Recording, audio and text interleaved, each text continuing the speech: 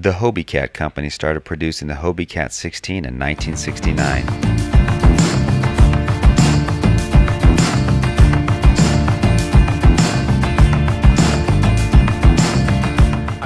Hobie Alter, the inventor of the Hobie 16, intended the craft to be sailed from the beach through the surf.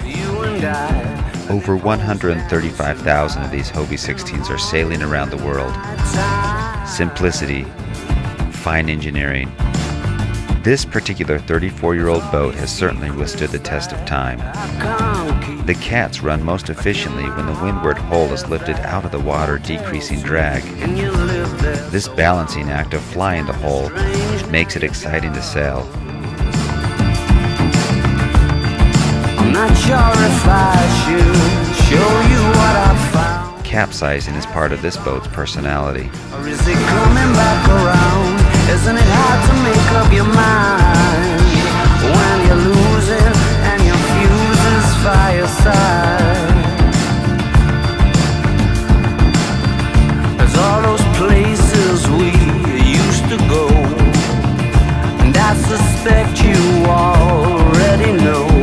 But that place